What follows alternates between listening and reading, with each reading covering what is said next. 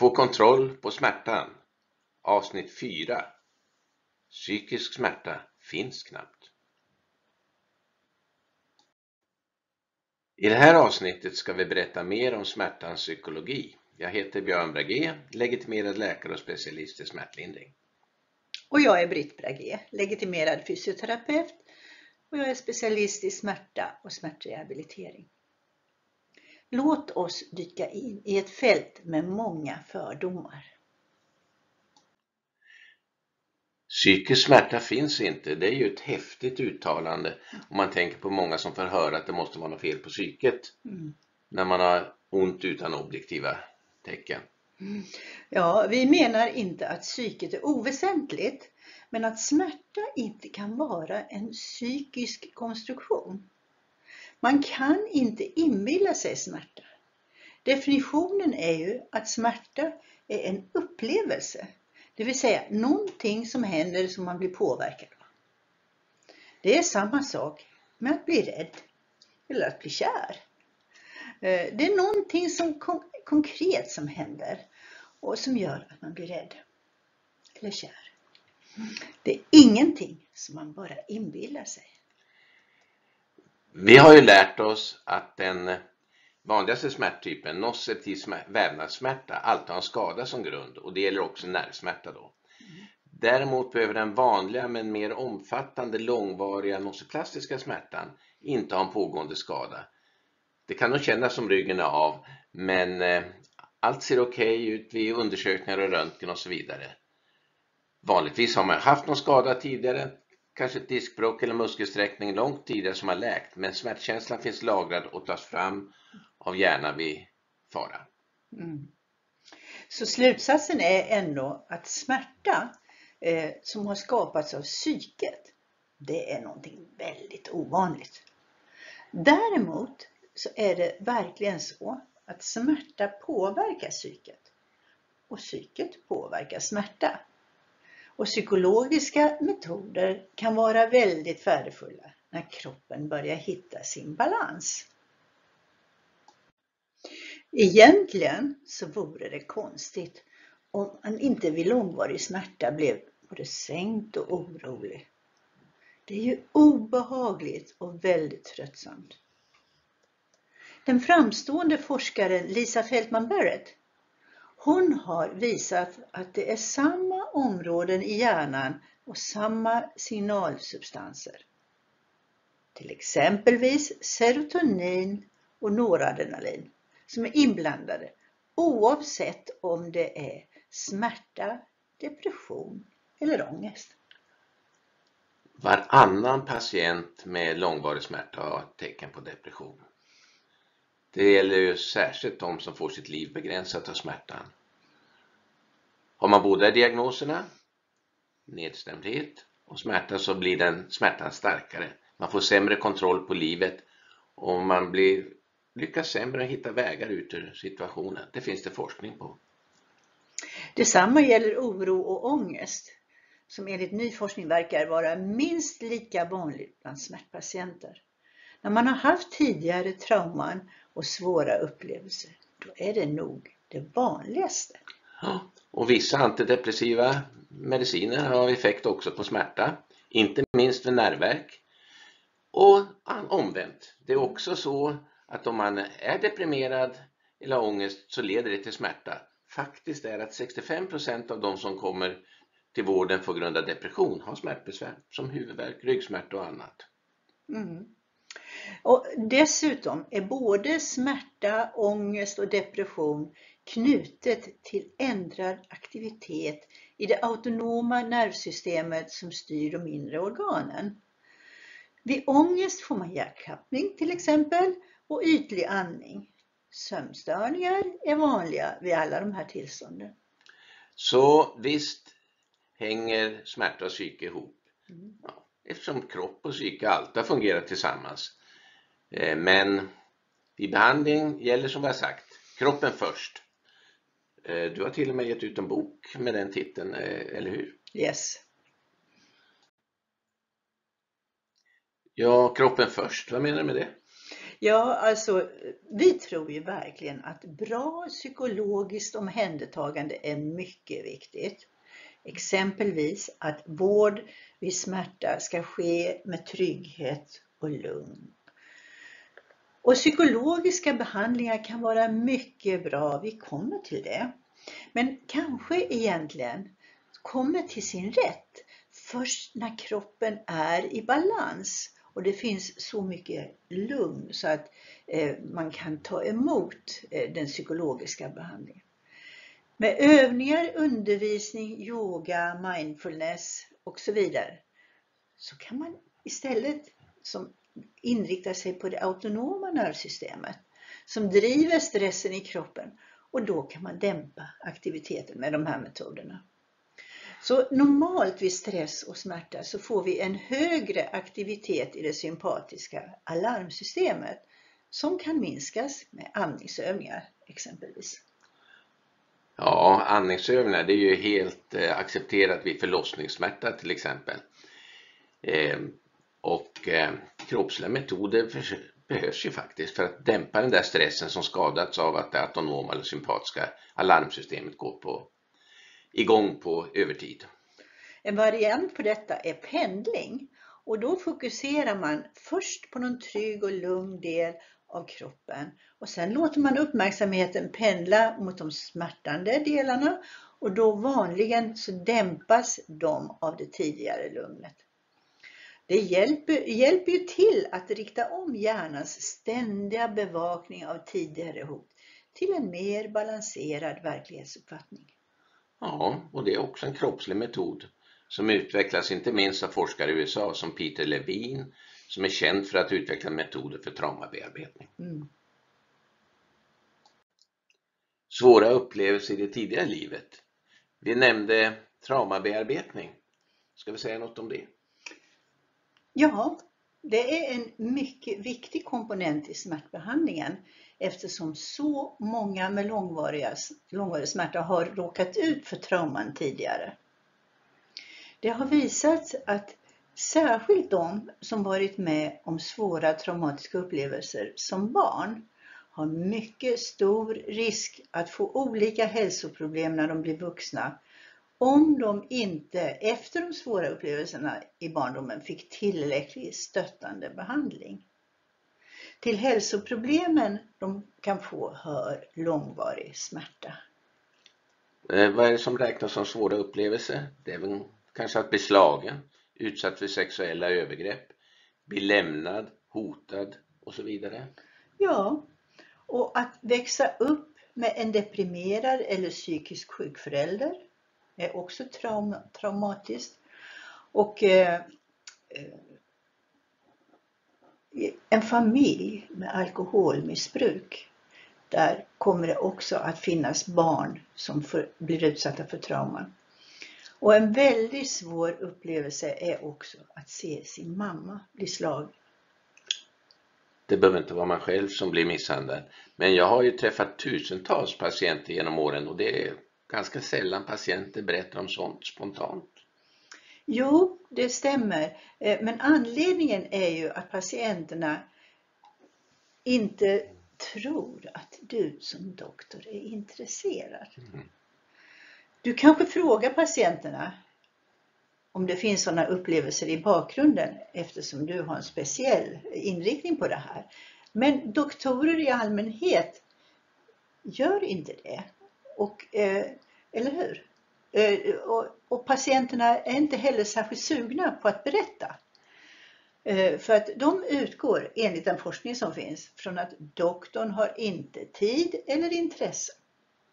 Och då är det bättre att inte ta upp sådana känsliga saker. Men egentligen inte bara läkare utan hela vården. Men på det här sättet så blir ju en av våra svåraste samhällsproblem ganska osynligt i, i vården. Mm. Vet du att det handlar om hundratusentals personer i vårt land som har svår smärta med den här bakgrunden? Det är viktigt att de får en mm. chans i vården att berätta och få hjälp. Mm. Tycker jag. Mm. Och du? Mm. Ja, naturligtvis är också svåra traumatiska upplevelser som vuxen viktiga. olycksfall och naturkatastrofer och så vidare. Och jag vill bara påpeka att posttraumatiskt syndrom, PTSD, det uppstår efter en överväldigande eller livshotande upplevelse. Det kan vara krigsupplevelser, övergrepp, olyckor och så vidare. Och man, var femte patient med smärta har PTSD, vilket gör det tio gånger vanligare än bland folk i allmänhet. PTSD är en psykiatrisk diagnos som innebär att man får återkommande plötsliga minnesbilder av traumat, så kallade flashbacks. Och då försöker man undvika alla situationer som påminner om traumat. Och efter en tidigare bilolycka så vill man kanske då inte åka bil. Eller man hoppar högt när man hör skrikande däck. Efter ett överfall i kassan kanske man inte ens vill gå tillbaka till kassajobbet. Och rädd blir man för varje person som har huvan uppe. Och man mår ständigt dåligt med sömnstörningar, med hjärtklappning, med ångest. Och det förvärrar ju smärtan. Så om man har sådana symptom är det ju jätteviktigt att ta upp det med vården och få hjälp. Mm. Verkligen.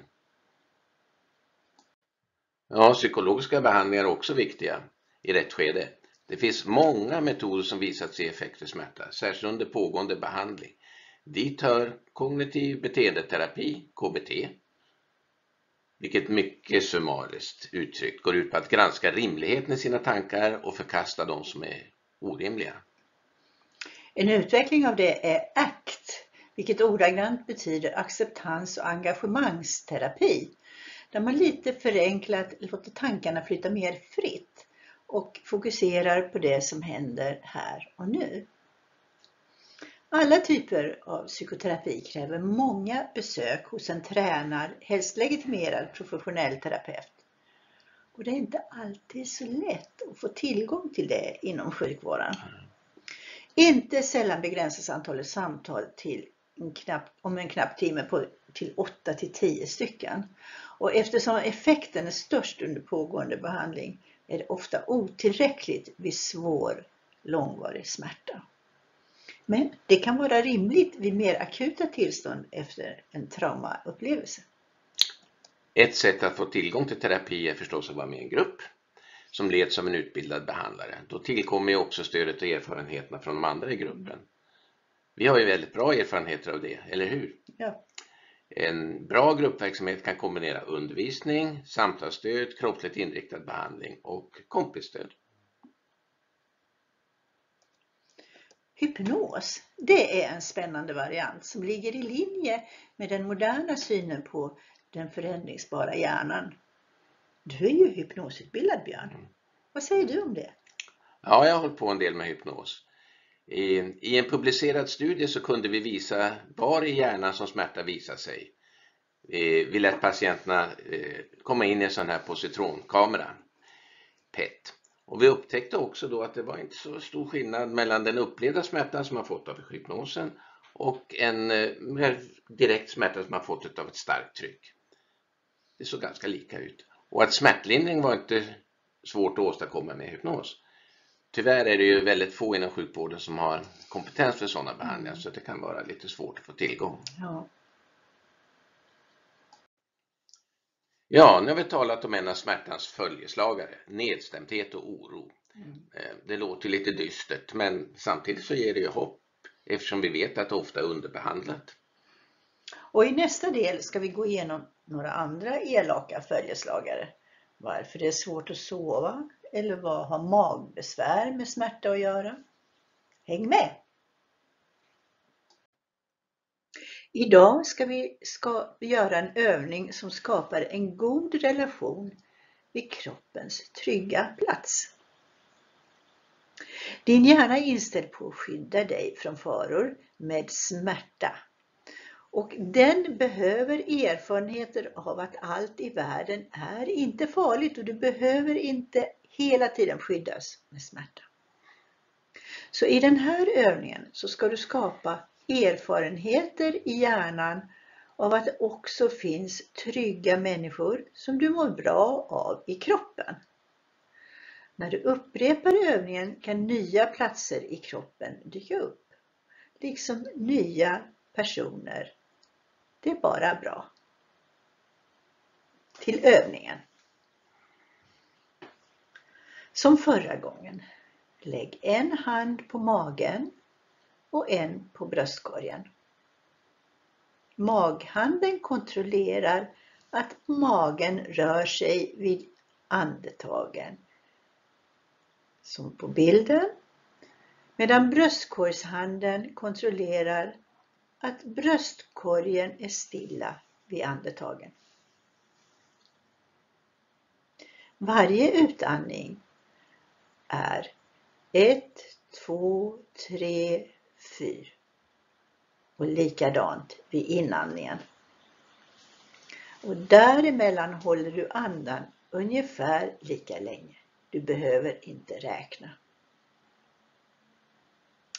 Så andas ut och gör nu andningsövningen i din egen takt. Och leta samtidigt, precis som förra gången, efter en plats i kroppen där det råder lugn, avspändhet och stabilitet. Ta god tid på dig tills du hittar det rätta stället.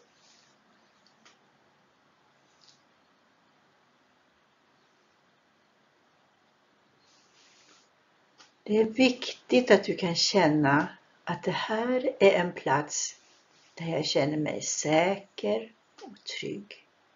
Här blir det aldrig oroligt.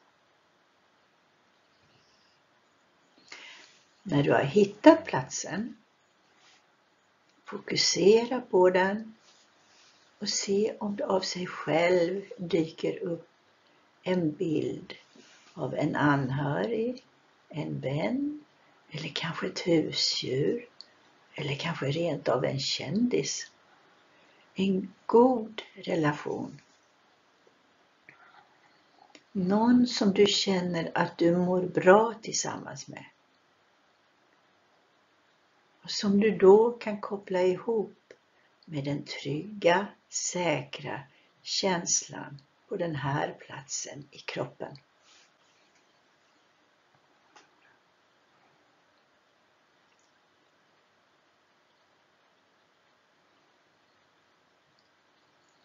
Stanna på din trygga plats.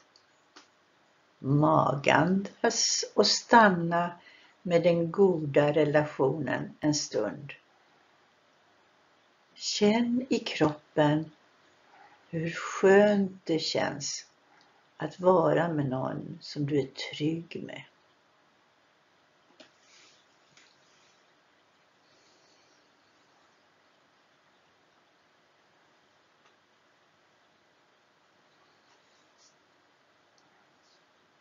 Avsluta när du tycker att det är lagom.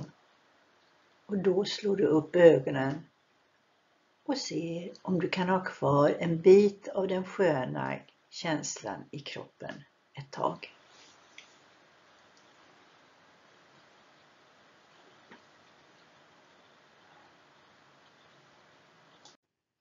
Till slut, information om vår klinik på Karlavägen i Stockholm finns på www.brage.se. Vår utbildning ska ge kunskap. Medicinska råd får du av din läkare eller på regionens eller 1177.ses hemsidor. Vi fortsätter att följa den vetenskapliga utvecklingen om smärta. Referenser och mer material hittar du på vår hemsida björnobritt.se.